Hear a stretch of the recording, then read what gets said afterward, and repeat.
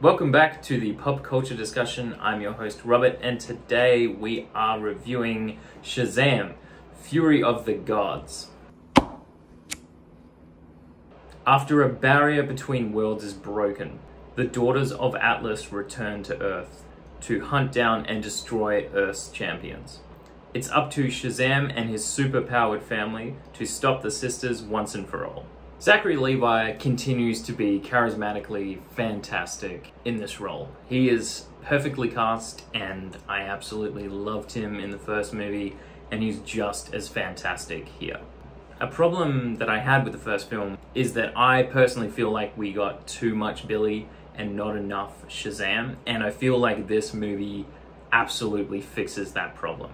We get Shazam for about 80 to 90% of the film he is barely Billy. Given that the previous film was the first movie and he was getting his powers, it makes sense that we're getting more Billy there. But yeah, I am extremely happy to say we get way more Shazam here than we do Billy, and that immediately fixed that problem for me. The fun family dynamic remains to be center stage in this film, just like the previous one, but this time round it's not only for our heroes, but for our villains as well with the Daughters of Atlas being quite divided amongst themselves with how they want to go about fighting Shazam and his family and with taking over the world. Most of the references and comedy lands really good here. There was quite a few laugh out loud moments and a whole heap of chuckles. Sure, there is still a whole heap of childish humor in this movie, and personally, none of it landed for me. It just came across really cringe. Luckily, most of it is just coming from the side characters, but Zachary Levi himself as Shazam is hilarious. I would say almost all of his jokes landed. The scaled up action has some extremely impressive CGI here.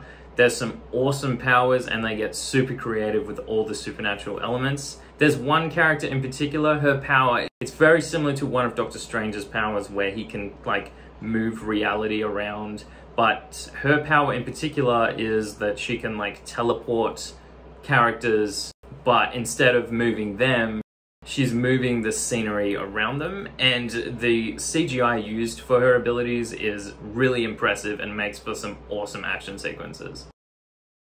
The magical side of the DC universe really gets to shine here. We get some really fun concepts that feel like they're ripped straight out of Harry Potter, and we get some really cool superhero concepts. So kind of combining those fun magical elements with the superhero shenanigans, it all blends together really well to create some awesome action sequences. The ending was extremely unexpected, and there are two in particular big twists that kind of happen. I feel like those two parts of the ending in particular definitely to surprise people. And I can't believe they pulled it off. They actually pulled it off really well. As fun as this movie is, it's definitely got some flaws. And the first act is kind of slow and just kind of weird to the point where I feel like they were reintroducing basically all of the main characters, kind of assuming that no one watched the first Shazam movie. And I was like, okay, I feel like most people have that are going to be watching this movie, so I feel like there was just some unnecessary world building, and because of that, the main story doesn't really kick off until the second act. The villain's motives are super inconsistent. It seems that like certain villains have definite goals in mind and then it just comes to a certain scene and they completely change their mind and switch over to something completely different which is like super out of left field. And there's also some super convenient plot armor for our heroes here. There's a couple of scenes in particular where certain characters absolutely should have died and they just don't because another character decides to use a different move on them and because of that that character survives and just makes for some really silly and lazy writing in certain scenes. And speaking of silly, there's a segment near the end of the movie that's very similar to Black Adam. In Black Adam, basically all these skeletons attack the city and the people decide to fight back and they're like an equal match to these skeletons. Well, there's kind of a very similar scene here in this movie. It's not as bad as Black Adam, but I was kind of hoping they'd do something different, which I felt like would have been a lot more entertaining, but they decided to go with this certain idea that was extremely childish, and I don't know, some kids might find that scene really fun to watch, but as an adult, I just found it really cheesy and just cringe, if anything.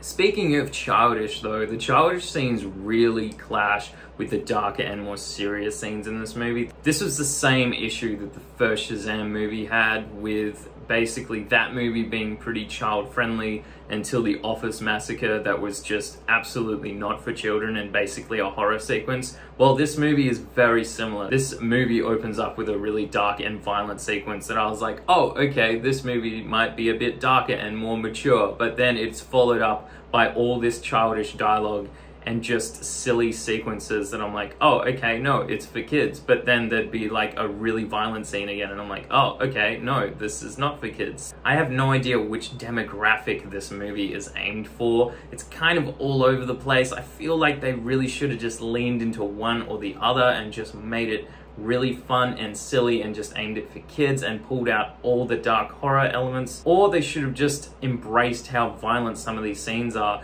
Instead of having absolutely zero blood in them, they could have just made it way more brutal and taken out some of the sillier elements and just made this a much more mature viewing. So yeah, with all that mixed writing and elements, the tone is just all over the place. Personally, I had more fun with the first movie, with the comedy and the heart landing better, but when it comes to a grander scale, harder hitting action, and creative supernatural elements, this movie is definitely an improvement on the last. Depending on what you're going into this movie for, you might enjoy it more than the first, or like myself, you might have more fun with the previous one. This is still a really entertaining DC movie, but with the tone just being all over the place, it's an 8 out of 10 for me.